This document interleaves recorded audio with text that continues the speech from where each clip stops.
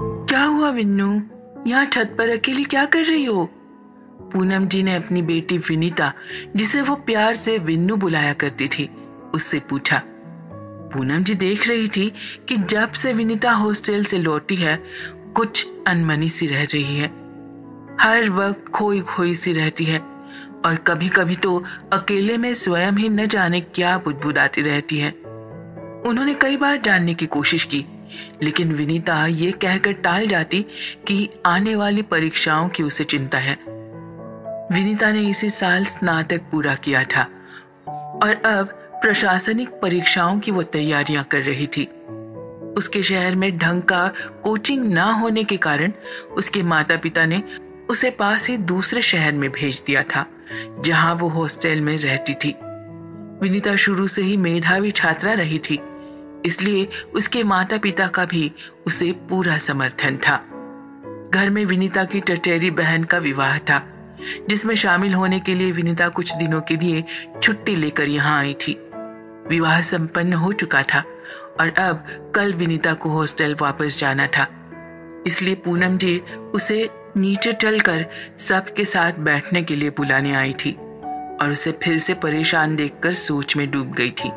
कि हमेशा सबके टहती सबको हंसाने और स्वयं हंसने वाली उनके विन्नू को अचानक आखिर हो क्या गया है? इससे पहले कि वो विनीता से कुछ बातें कर पाती, सहसा विनीता का फ़ोन बजा। विनीता ने फ़ोन रिसीव करके जैसे ही सामने वाले की बात सुनी, वो ज़ोर से चीख मार कर बेहोश हो गई। पूनम जी ने घबराकर तुरंत अपने पति को आवाज़ लगाई। दोनों मिलकर किसी तरह विनीता को नीचे कमरे में ले गए।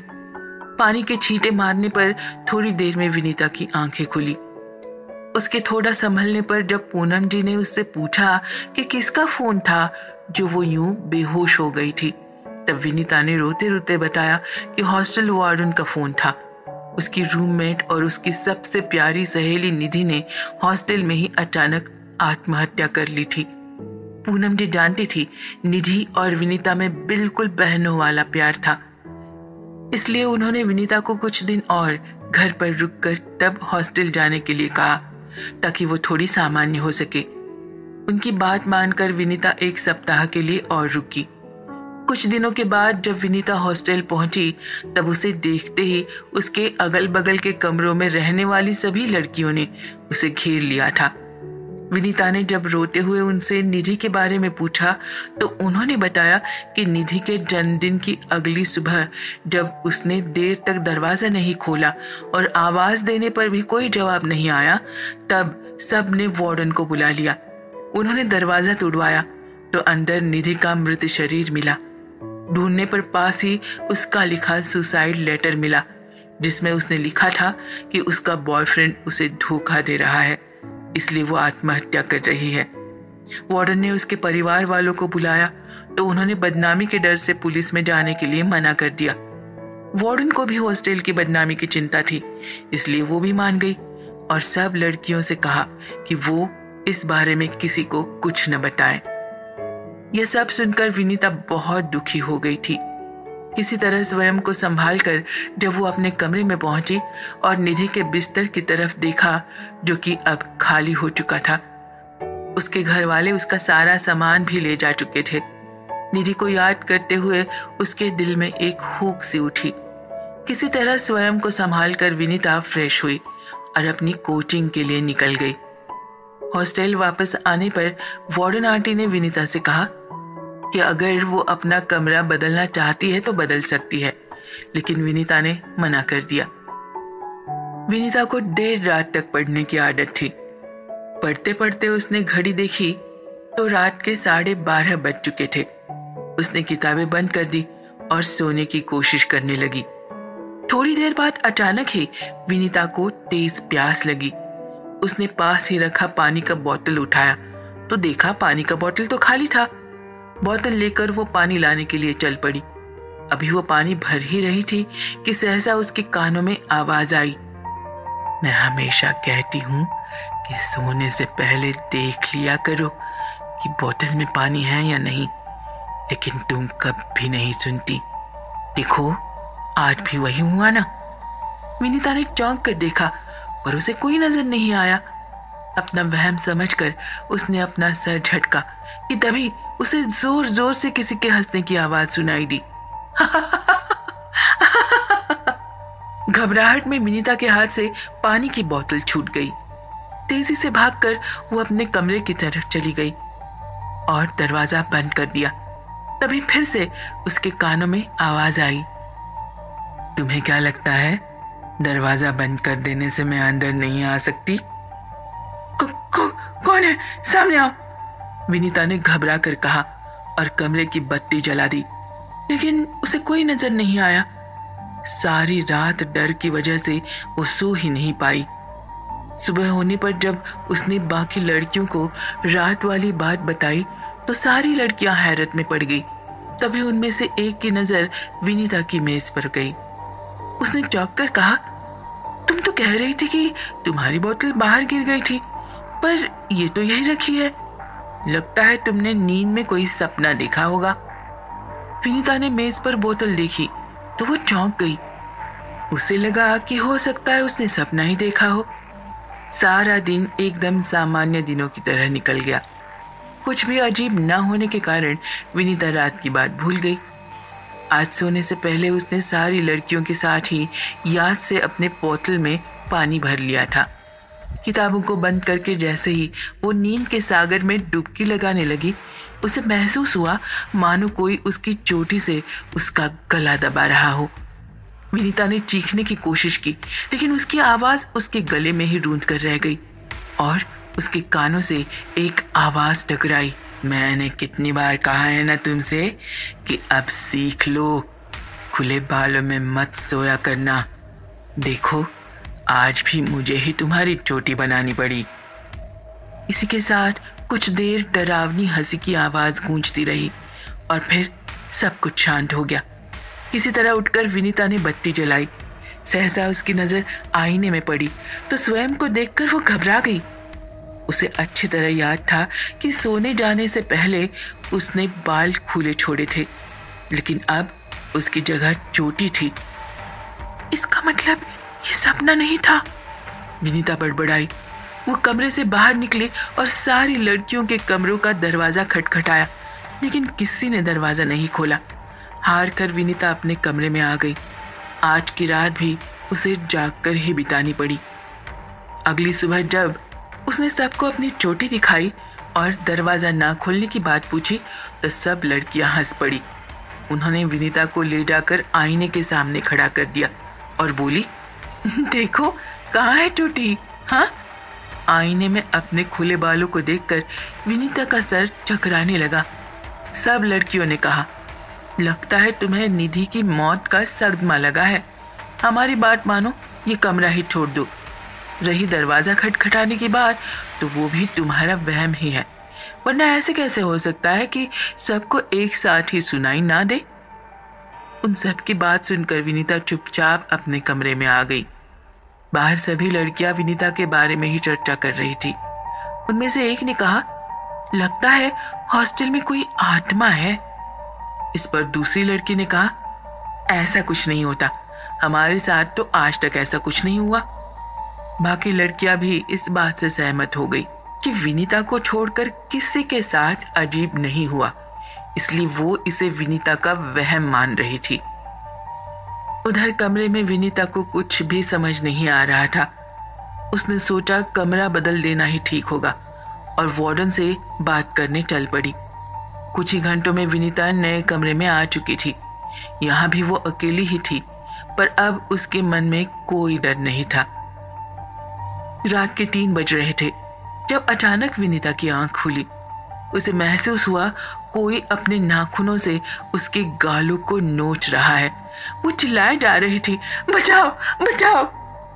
थोड़ी देर बाद फिर से हँसी की आवाज़ गूंजी और सब शांत हो गया।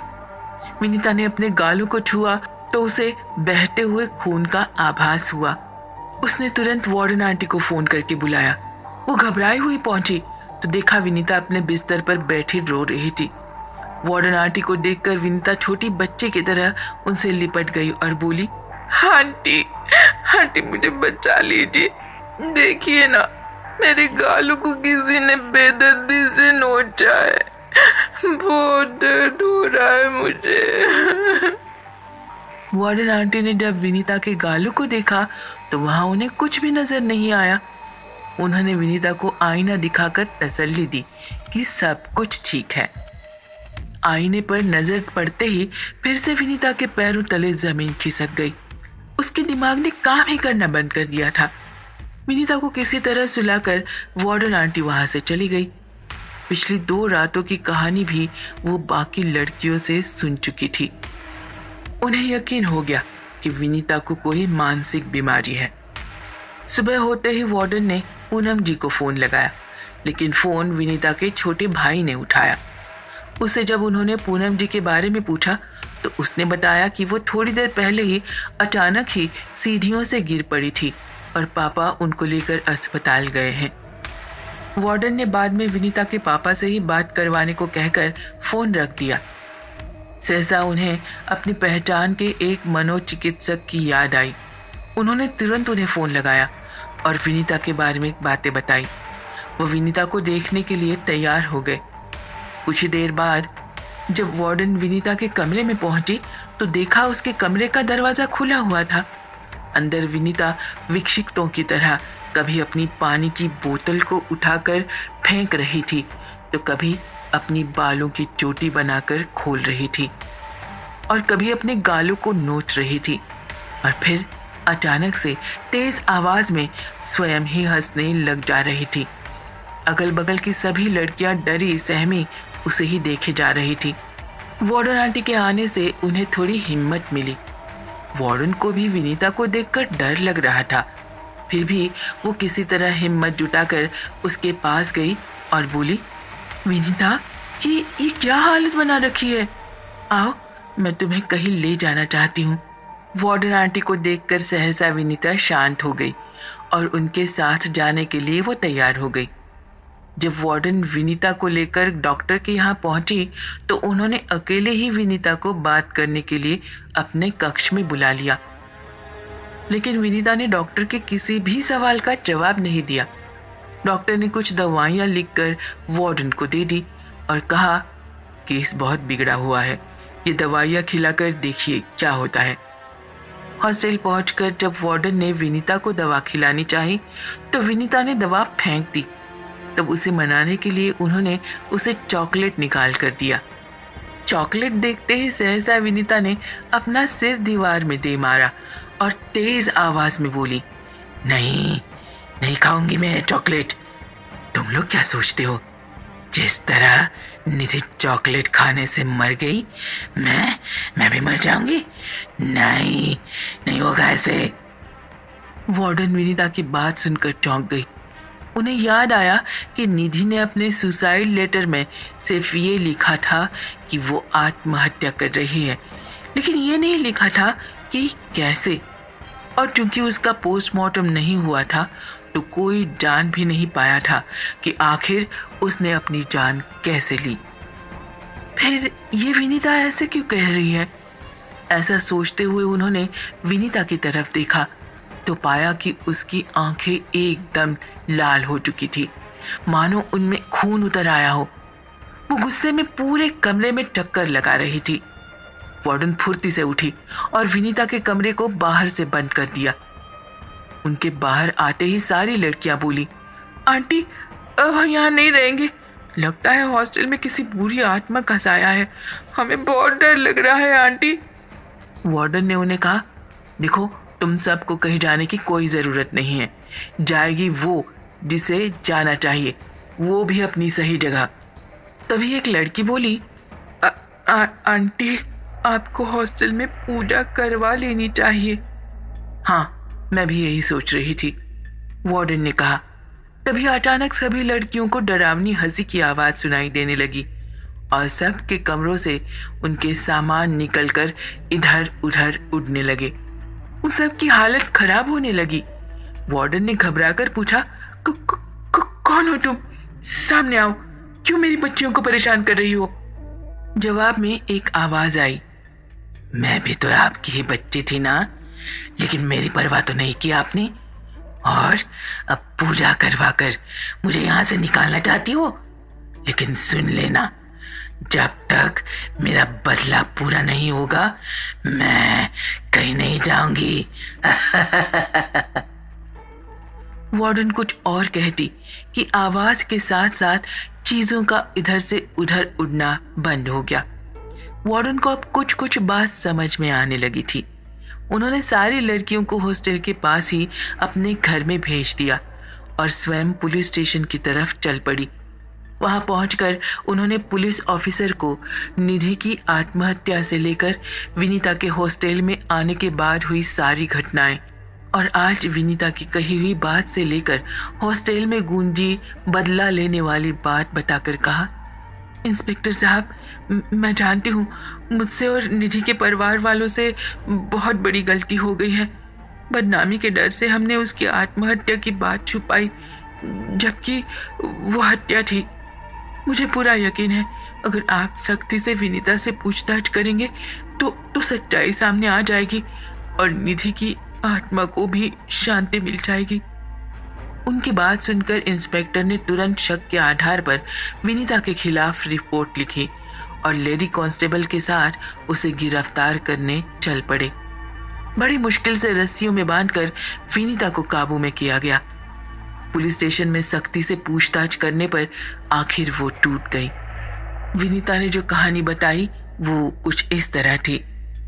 निधि, यू तो बहुत अच्छी थी और हर तरह से विनीता की मदद किया करती थी, चाहे पढ़ाई हो या कभी कभी पैसे की दिक्कत हो।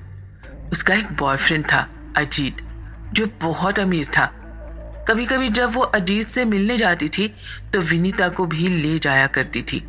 और अजीत की अमीरी का रौब झाड़ते हुए विनीता से कहती, भविष्य में तुझे कभी भी पैसों की दिक्कत हो ना तो मेरे और अजीत के पास आ जाना। जब विनीता इस बात पर गुस्सा होती तो वो कान पकड़कर कहती, अरे, मैं तो मज़ाक कर रही थी। सहेली हूँ यार तेरी, सास नहीं हूँ। विनीता कुछ नहीं कहती। फिर भी मन ही मन निधि के प्रति उसके मन में एक कड़वाहट भरती जा रही थी। निधि ने ऐसे ही एक दिन मज़ाक में अजीत से कहा कि अगर मैं मर जाऊँ तो तुम विनीता से शादी कर लेना, वरना बेचारी को कहाँ मिलेगा तुम जैसा लड़का। ये बात विनीता के दिमाग में बैठ गई।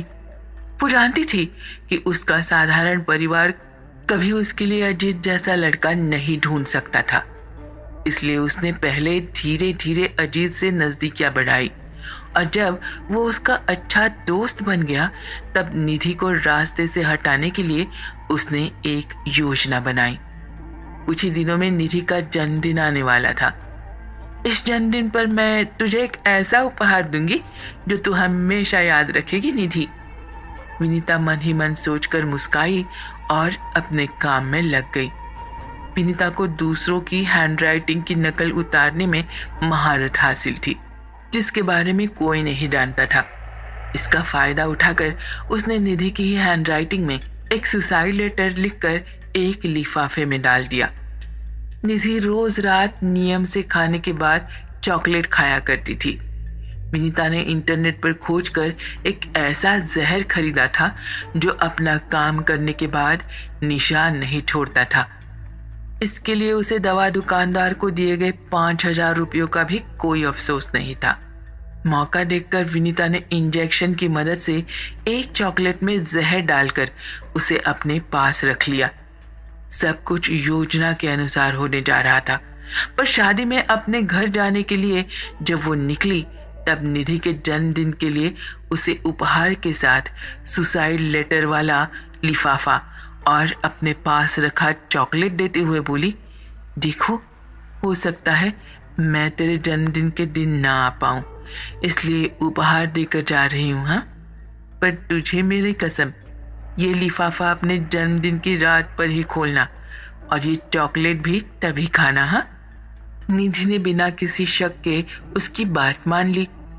जन्मदिन की रात आदत के अनुसार चॉकलेट खाते हुए उसने विनीता का दिया हुआ लिफाफा खोला। उनमें लिखा लेटर पढ़ते हुए वो चौंक गई। लेकिन इससे पहले कि वो कुछ समझती, जहर ने अपना काम कर दिया था। अगली सुबह जब देर तक निधि ने दरवाज़ा नहीं खोला तो सब लोगों को शक हुआ। और जब कमरे का दरवाज़ा तोड़ा गया तो निधि का मृत शरीर और वो लेटर वहाँ पड़ा पाया गया।